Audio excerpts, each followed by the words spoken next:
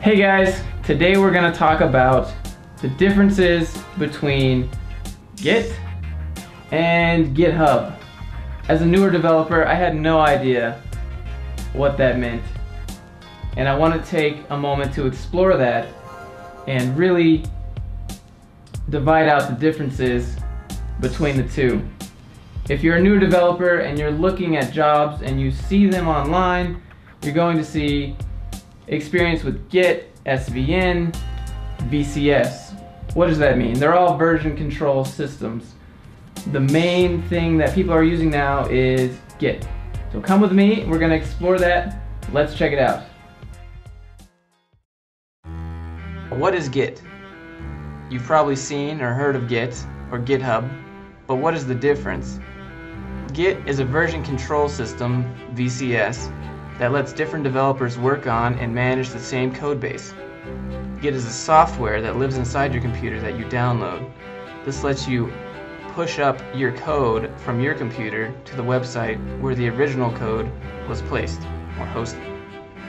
But what about GitHub, Bitbucket, GitLab, other websites?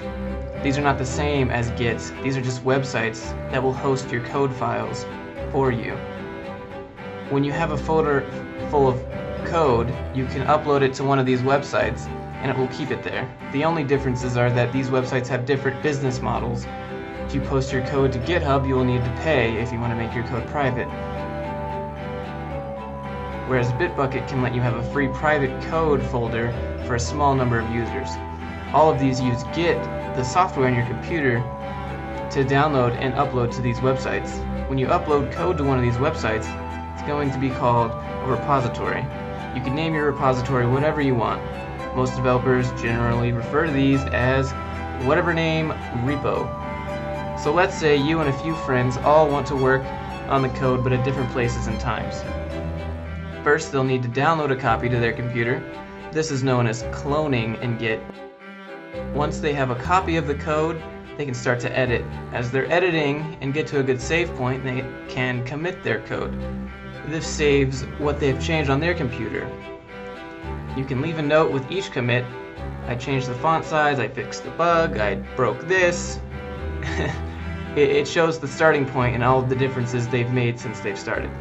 They can do this multiple times, get to a good point, save, keep working, save again, commit it, save it locally on their computer so that you can keep track of what you've changed. If you break something or want to go back, you have a history of what you've changed and you can see what you've done. So make it a habit to commit often and commit early so that you don't end up with a uh, 1000 file change commit and then when you broke something you have to look at 1000 changes and figure out which one of those broke it.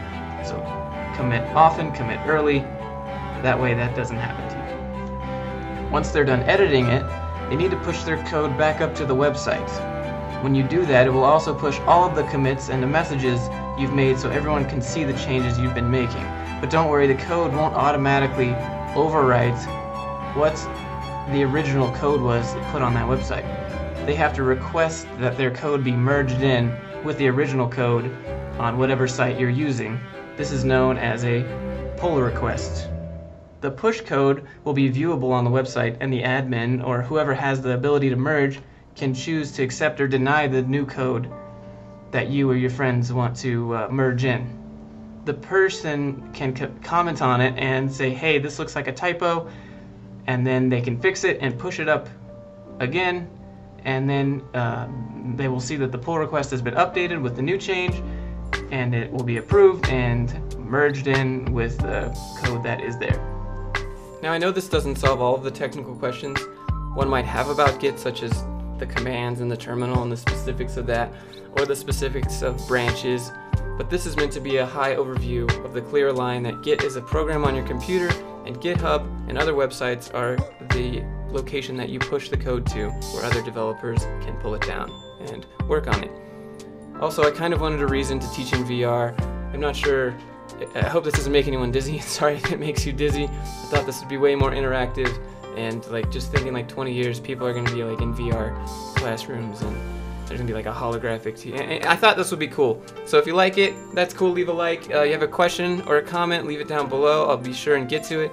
And otherwise, just be sure and subscribe to the channel if you want to see more. Cool guys. See you in the next one. Bye.